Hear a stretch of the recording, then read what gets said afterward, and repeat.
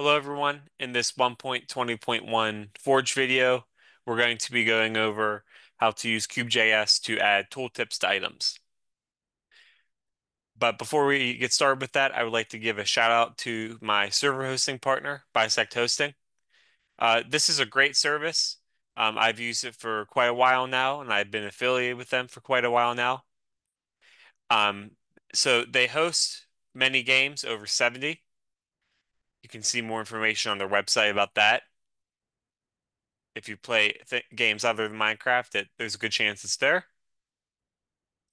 You can also pre-install over 2,000 Minecraft mod packs automatically. So if your mod pack, if the mod pack you want to play is fairly popular, uh, it's probably here. So for example, you see all the mods, Better Minecraft. Those are two examples. It also offers 24/7 365 support for for troubleshooting your server and and your mods as well.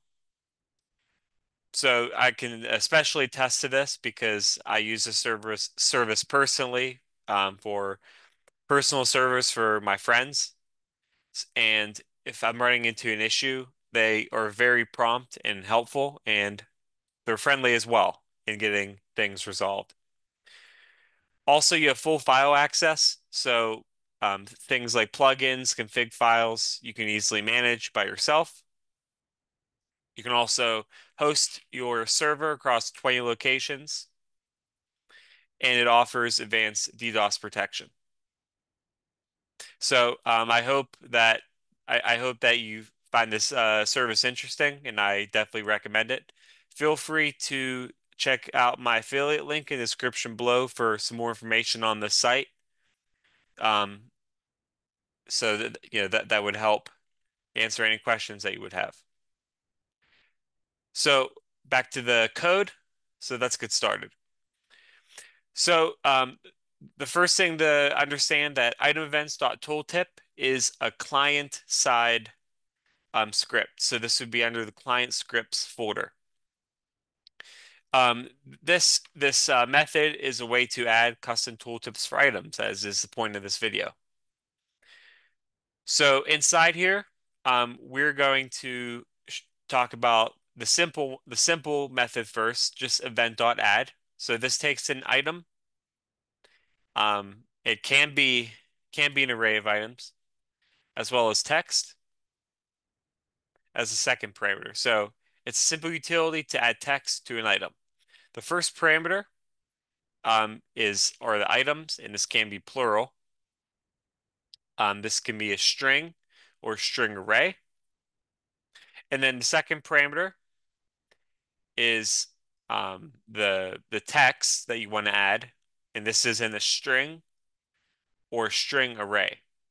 So it's important to note each string is a line, and we'll see examples of that later. But for this first example, we are applying this to an array of items. So for example, here we have raw copper, raw gold, raw iron, and we're adding a, a tooltip here saying found in the overworld. So let's us let us test this in game. Um, before uh, before we check it out, we always need to reload our scripts. So it's that's done. KubeJS reload. Server or no client scripts. Enter.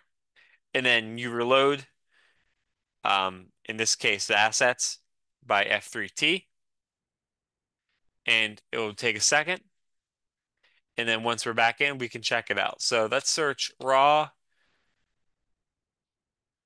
iron. As you can see, it has that tooltip found in the overworld. Raw copper also has that tooltip. And raw gold has that tooltip. Okay, let's take a look at our next uh, code example here. So um, this example is using uh, regex or regular expression in place of an item. So for example, our example here is going to be applying the leather armor, okay? So all all these items start with Minecraft colon leather. So, uh, well, in this case, it's the underscore. So Minecraft leather helmet, chest plate, leggings, boots, and horse armor. So as you can see here, instead of an item or an, an array of items, we're passing in that regular expression noted with the two forward slashes, and then our regular expression or text. I mean, so let us go back in game and take a look at this. I'm not going to reload for each example here since I already reloaded for the whole script. So let us look up leather. As we can see here, our leather cap says the message. Our leather tunic says the message. Our leather pants says the message. Our leather boots says the message. And our leather horse armor says the message. Okay, let us go back to our code and let's look at the next example. So for this, uh, this example is showing that you can have multiple lines of tooltip using a string array. So instead of passing in just a string, you can pass in a string array. So for this, we're passing in a water bucket as our item. And then we have an array of three strings. So the first string here is going to be our first line. The second string is going to be our second line. And our third string is going to be our third line. So they'll be on top of each other, as you'll see. Okay, let us go back in game. And let's take a look. Search water bucket. As you can see, we have the first string as the first line, second string as the second line, and the third string as the third line. Okay, let, let's go back in our code for our next example. So here we're going to get into the advanced method. So event, event dot add advanced. So event dot add advanced, you're passing in an item um, in some code along with um, another set of open uh, curly brackets that encompasses text to add. So the only parameter here is the string or string array of the items that we want. The, the simple way to add text is through text.add. So we're passing in an index and uh, the text. So um, this is advanced method add text. So the first parameter is the index as an integer, and the second parameter is the text as a string. Um, as you can see here, uh, we are passing in, for our first example, we're going to print the text above the item name. So that is index zero. And instead of the regular string here, we're going to use the text of method because we're going to be showing some more detailed examples of that later. And then all it's real simple. You just pass in the string. And then the second example here is Emerald. I'm printing a, message between the name and ID, assuming you have F3H or advanced tooltips on. So let us go in game. Let's take a look. First at our diamond, as you can see here, it prints your first above the word diamond. And then our second thing is emerald it prints out the message below. Okay, let's go back in the code and look at some more examples. So next, we're going to be uh, adding a way for you to have a, a, message that says something along the lines of shift display more info as you see in a lot of mods like uh, Mekanism, Create. Um, those are the mods I can think off top of my head, but plenty of mods use them. So essentially, if you're not holding shift, it's going to display a certain certain text. And then if you are holding shift, it's going to display other text. So for here, we're going to use a tooltip to describe how to get another star. So um, hold shift to see more info.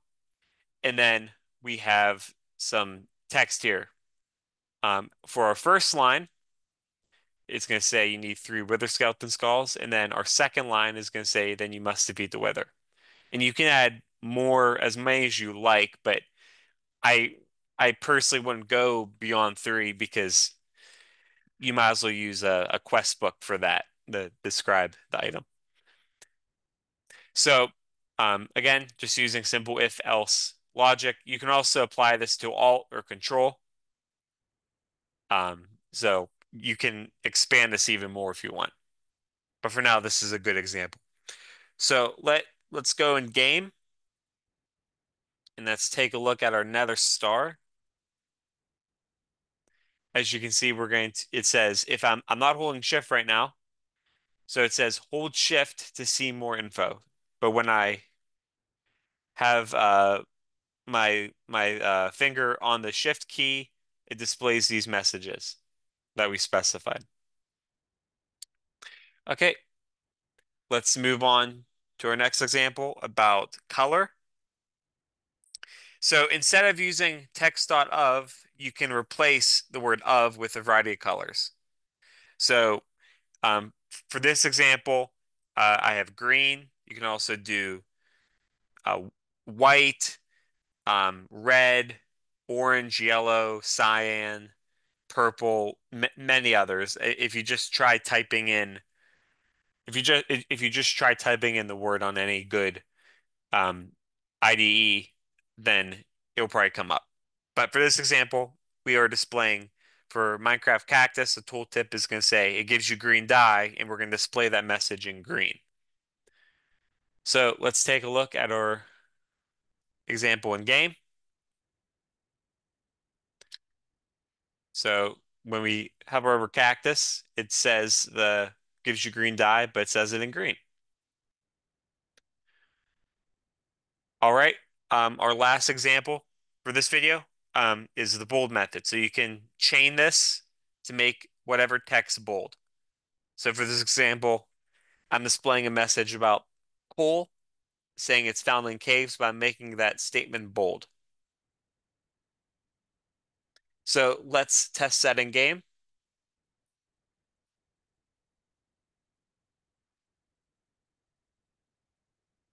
As you can see, found in caves is in bold.